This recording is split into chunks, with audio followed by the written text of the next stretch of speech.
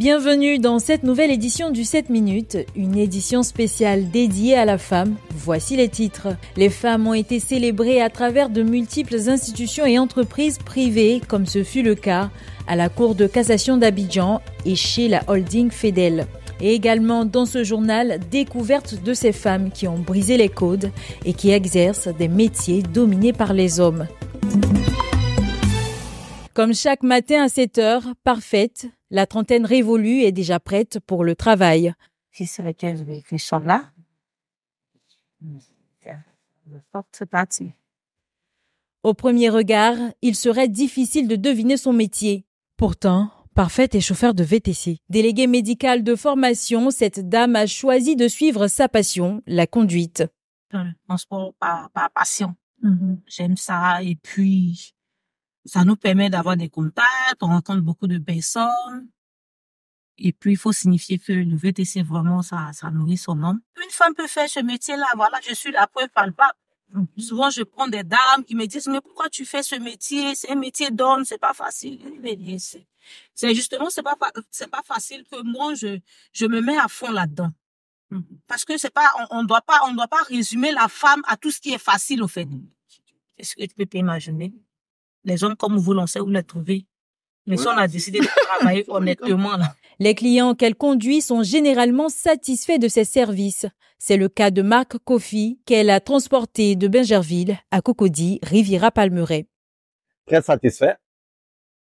Très satisfait du service et euh, on espère qu'on en trouvera beaucoup de, de, de pilotes comme ça, surtout dans les chez les hommes aussi. Nous avons promené notre caméra dans la commune d'Abobo. Ici, nous rencontrons Awa, réparatrice de téléphone portable. À l'âge de 19 ans, après son bac, la réception des clients était sa première option jusqu'à ce qu'elle apprenne la maintenance. Déjà, envoyer son téléphone pour une réparation. Le client, il est un peu doutant. Il, est, il, doute un peu quoi. Tu vois que c'est tout enfin. Donc déjà, même là, il est déjà carré dans la tête. Il s'est dit, bon, elle n'a qu'à faire, puis elle va partir, elle va revenir, puis c'est pas bon. Et puis je vais partir, puis c'est pas bon. il a déjà carré dans sa tête. Donc quand lui, il s'en va, quand il s'en va, dès qu'il y a un petit truc, c'est-à-dire un petit truc mais qui n'a rien à voir avec la réparation que tu as fait, il vient immédiatement. Mais en fait, ça fait plaisir parce que c'est rare de voir des dames qui sont dans le domaine. bon, c'est à encourager parce que les femmes comme les hommes doivent faire le même métier. Aujourd'hui, les femmes ont de moins en moins peur d'embrasser des carrières difficiles. C'est le cas de Hawa et Parfaite qui ont osé faire des métiers traditionnellement réservés aux hommes. Elles ont décidé de briser les barrières. Ici, au lycée professionnel des métiers du bâtiment de Koumassi, 30% des apprenants sont des jeunes filles. Elles sont formées dans les filières telles que la menuiserie, l'installation sanitaire, l'électricité. De faire le bâtiment, vu que ça me plaît. Il n'y a pas trop de femmes dans ce domaine. C'est les femmes, elles ne veulent pas parce que sauf les garçons seulement qui peuvent travailler. Or, nous les filles aussi, nous avons le droit de venir travailler cela. Et là où c'est chic. Ça nous permet beaucoup, d'apprendre beaucoup de choses. Personne n'a choisi pour moi. C'est moi-même qui ai choisi. pas Quand je vois nos enfants, les enfants, les filles surtout, ça me plaît. Je les motive parce que je veux qu'on développe ce côté-là. Il faut qu'on prouve aux hommes que nous aussi, nous pouvons. On peut le faire. J'ai l'habitude de leur dire que quand on est en classe, il n'y a pas une note pour les garçons une note pour les filles. Donc, il ne faudrait pas qu'on mette cette trac-là entre nous en se ridiculisant, en disant, oui, moi, je suis une fille. Nous sommes tous les mêmes.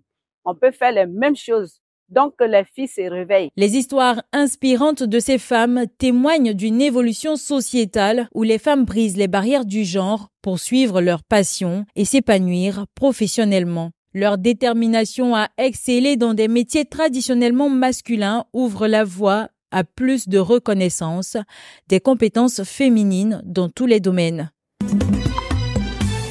Greffière, secrétaire, assistante, juge, magistrate, la Cour de cassation de Côte d'Ivoire a célébré, à l'instar de nombreuses institutions, les droits de la femme le 8 mars. Vous avez, au terme euh, de votre doléance, sollicité la mise en place d'un conteneur aménagé pour étendre au moins le nombre de bureaux parce que nous sommes manifestement à l'étroit.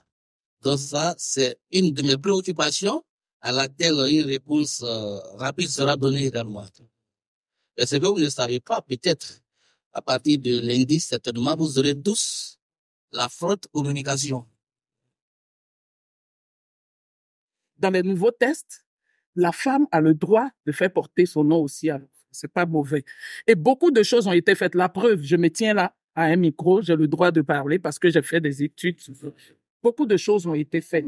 Mais beaucoup reste à faire. Nous, les femmes, ne devons pas nous contenter d'être euh, ce que les gens ont appelé le sexe faible. Dans le monde entier, la journée internationale de la femme est célébrée pour permettre aux femmes de s'exprimer librement, de défendre leurs droits et de protéger leurs intérêts. Vêtues d'un pagne distribué à l'occasion, les femmes de la holding Fedel ont elles aussi célébré leur journée. Une célébration en grande pompe à travers une procession en musique partant du complexe sportif Irma au Nza Hotel dans la ville de Grand Bassam. Nos attentes, c'est que on considère les femmes, on écoute les femmes, on aide les femmes à prospérer dans tout ce qu'elles veulent faire. Sur le plan religieux, en tout cas sur tous les plans. Je demande au Seigneur de bénir toutes les femmes elle a donné le courage de pouvoir être des femmes au foyer, des femmes à l'église et dans tous les domaines de la vie. Que Dieu les bénisse. En ce jour dédié à la femme, ces femmes venues de différentes filiales du groupe FEDEL ont écouté religieusement Maître Koné, conférencier du jour, sur le thème Harcèlement en milieu professionnel, comment faire face? On a l'égalité de sexe, la diversité et l'inclusion. Dans un monde où les défis persistent. Nous devons continuer à nous unir vers un environnement où chacun d'entre vous peut s'épanouir pleinement. Alors, c'est une de la femme. Tout ce que je peux te souhaiter en ce jour spécial est que vous ne cessez de rêver et de ne jamais perdre espoir. Puisse toujours nous passe notre jour. Et bonne journée. La journée internationale des femmes est célébrée le 8 mars. C'est une journée internationale mettant en avant la lutte pour les droits des femmes et notamment pour la fin des inégalités par rapport aux hommes. C'est la fin de cette édition. Merci de l'avoir suivi. L'actualité se poursuit sur cette info et sur cette info.ci.